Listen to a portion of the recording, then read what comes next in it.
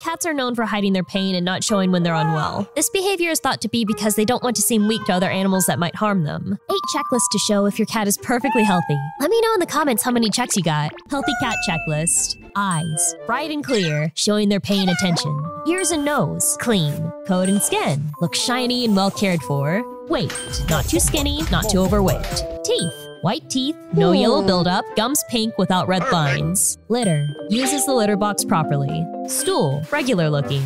Mood, plays with toys and is active. How many checks did you get?